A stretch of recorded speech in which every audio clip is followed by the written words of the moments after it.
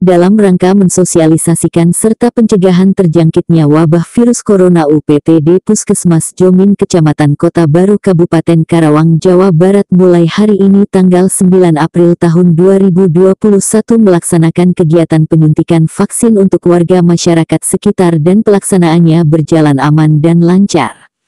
Puskesmas melayani mulai tanggal 9 sampai dengan tanggal 12 April tahun 2021 adapun penyuntikan vaksin ini diprioritaskan bagi warga sudah berjalan dari Februari mulai dari tahap pertama yang tenaga kesehatan pelayan publik eh, kemudian TNI Polri tenaga pendidik kita sudah berjalan dosis 2 dan eh, tinggal ada beberapa dosis 2 yang susulan dan sekarang sudah ke prioritas lansia untuk sampai uh, tanggal 12 ini masih diprioritaskan masih sesuai dengan alokasi vaksin yang kami dapatkan.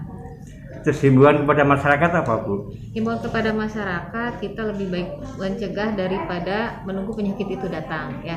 Jangan khawatir karena khususnya untuk yang di puskesmas kami pelaksanaan vaksinasi ini alhamdulillah aman. Eh, tidak ada efek samping yang berat. Alhamdulillah. Sampai saat ini masih aman. Ya, jadi ya. untuk yang belum divaksin yang sedang kami prioritaskan lansia mangga ditunggu di puskesmas.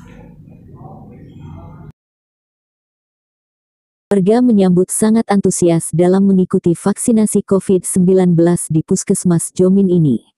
Dan warga rata-rata menyampaikan pelayanan sangat memuaskan pihak puskesmas menyampaikan pula bahwa syarat untuk divaksin warga harus sehat dan bagi warga yang pada saat dilaksanakan pemeriksaan dalam keadaan darah tinggi atau sakit yang lainnya bisa divaksin apabila kondisinya normal. Dari Kabupaten Karawang, Jawa Barat Sutoyo Kontributor Berita 7 melaporkan.